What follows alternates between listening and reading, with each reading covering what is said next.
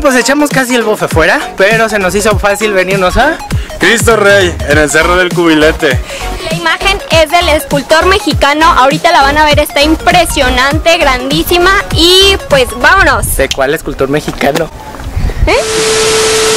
Oigan, trippers, pues venimos echando el bofe fuera, pero se nos hizo fácil en este rollo de Guanajuateando venirnos a... Cristo Rey.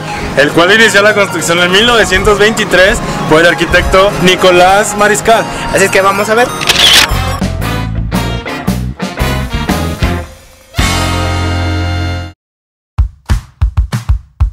Charamusca.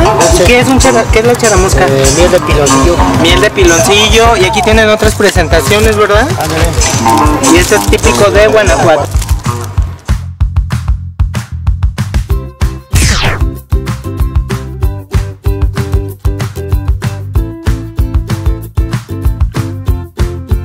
Tenemos ya 136 años que nació la orden en 1882 y continuamos con nuestros principios de caridad, unidad y fraternidad y patriotismo.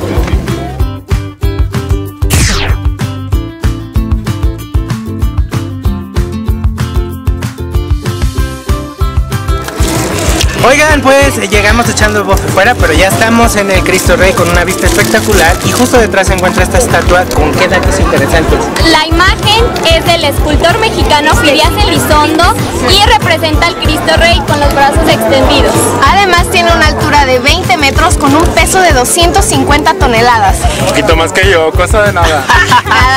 Oigan, pues aquí terminamos en este punto el Guanajuateando, así es que nos vemos en otra edición en Trip.